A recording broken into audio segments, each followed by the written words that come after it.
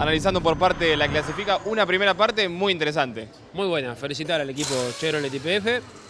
Nos sorprendió a todos, a mí mismo también, cuando me dijeron primero, no lo podía creer. Salió una vuelta de café perfecta y, y el auto funcionó a la perfección. Y bueno, pudimos quedar primeros hasta el final, que bajó milla.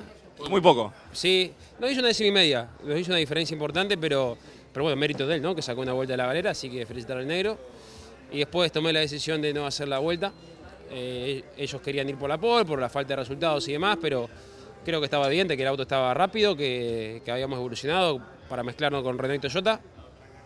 Y creo que tengo mucha más chance de ganar mañana con esta estrategia que con la otra. Me duele en el alma porque soy un purista, me gusta hacer pole, de hecho hay algo que me encanta en el Super Sumir, es, es las poles que me ha tocado vivir. Pero bueno, este sistema lamentablemente te lleva a pensar estas cosas. ¿La dudaste en la decisión? Me la hicieron dudar ellos, yo estaba convencido de que me levanté hoy en la mañana.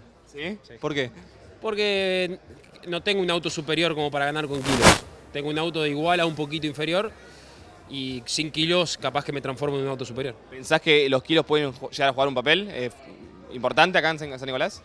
Eh, sí, en todos lados. Pasa que en Salta pasar es casi imposible o imposible. Acá en San Nicolás es muy posible. Te veo con confianza para mañana. Absolutamente, que mañana, aparte no peleo el campeonato, salgo a buscar eh, la victoria para todo el equipo que se la merece y para los hinchas de Chevrolet.